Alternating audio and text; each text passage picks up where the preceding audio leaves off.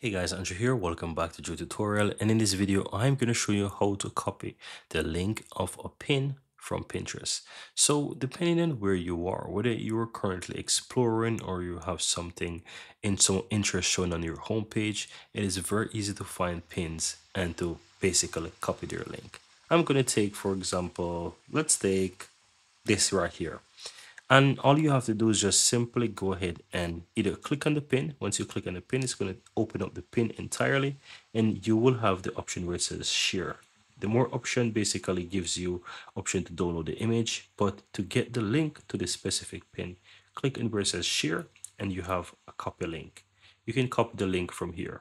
Alternatively, if you don't want to open the pin, just hover over it and you have the share button right below to the right hand side of any pin that you will hover over. So you can go ahead and click the share icon or the share button.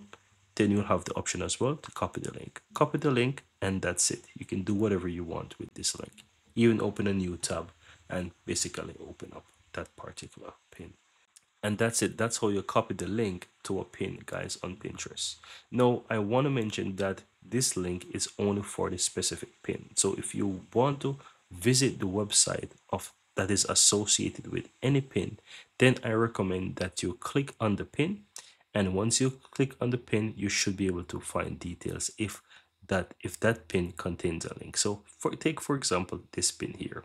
If I click on this pin, it's going to take me over to the pin itself.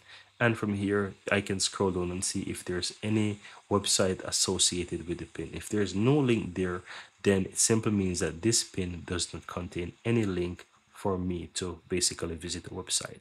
However, let's go back.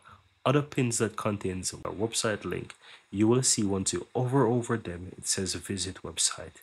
And let's take this one for example. It says visit website. If I click on that, it's going to open up in a new window and it takes me directly onto this website where I can view the information or details of what the pin was referring to. And that's it. You can get more details. And that's it, guys. Very easy and very simple. How to copy the link for a URL. And that's it. So for any website, any pin that you will find where there's a link, you can click and visit the website. And if you want to copy the link, you just simply click to the URL of that website and click and copy. And that's it. Two ways that you can easily copy link from a pin on Pinterest.